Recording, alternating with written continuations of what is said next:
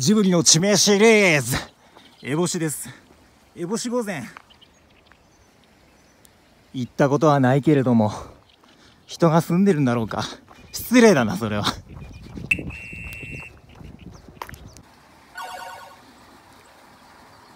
やべえ。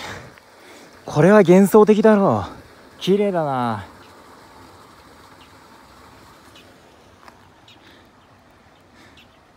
こちらの山はね雲がすごい低い位置にあるな。これは霧というんだろうか。まあ雲は上のやつだもんね。これだもんね。ここにあるのなんだろうね。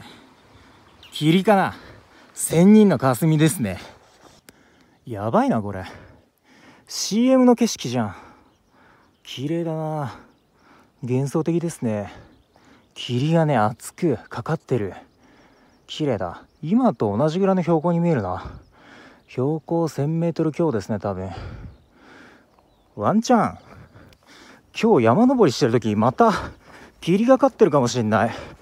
以前清里方面目指した時と同じ道を通るからね。あのサイレントヒルみたいだった時。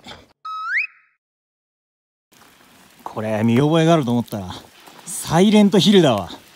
全然もう一寸先も見えねえんだよ。車も音は聞こえるけど直前まで全然見えねえ。サイレントヒルへ。ようこそ。また遠くの飛行機の音が。それっぽいね。やべえ。よく考えるとこれ。普通に怖いじゃん。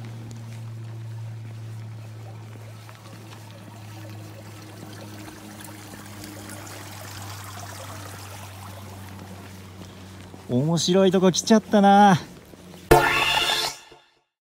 朝飯でも食うか。理想の体になっちゃおう。さてね道の駅小内沢に着きました。ここからガンガンね登ってって以前その清里目指して走った時と同じく一旦ね牧場公園っていうところまで走ります。そっからね清里を越えて野辺山に向かっていきますよ。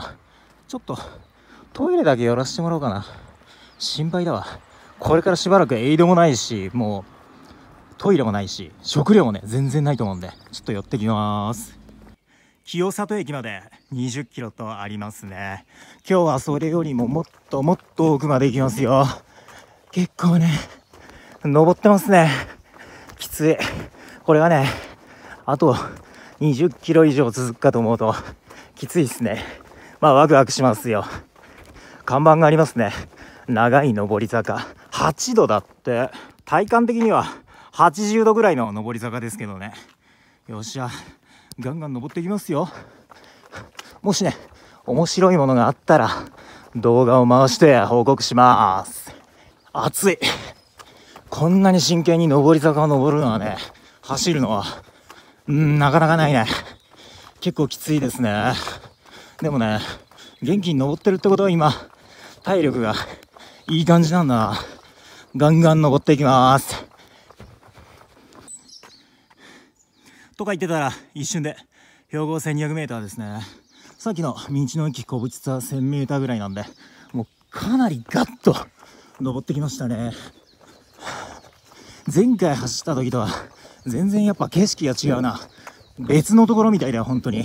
清里目指してね雪の中走った動画ありましたね。あの時はね怖かったよ本当に。霧がかってて。今はまるで別世界ですね。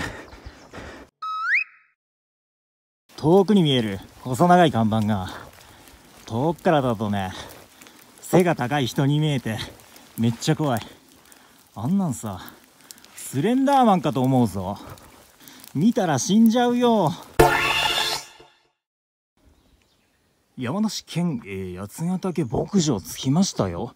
ってことはお牛さんマークあるし牛さんいるのかなここ。お牛さんあ牛さんいますね。いっぱいいる。あかわいい子牛ちゃんもいるぞ。ほら見て見て。ね。ほら。敵やないかい。ってこれ前回やったからね。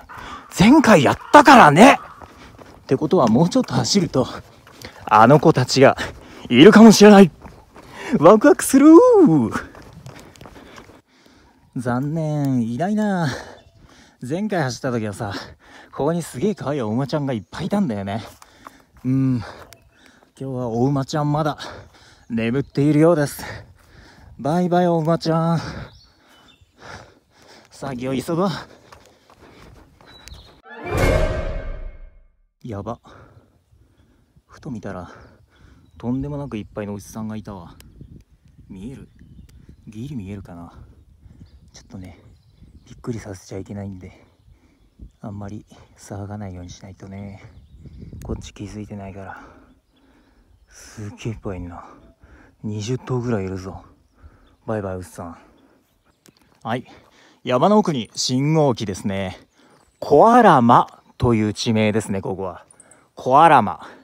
まあこのコアラマというのはねコアラのマーチから取られたっていうのはそれはねもうめちゃめちゃ嘘みたいですけどまあ嘘の話なんですけどね。さあ行きますよ。どんどん登っていく。こっから牧場公園まであと1 0キロもある。もう登りたくないよ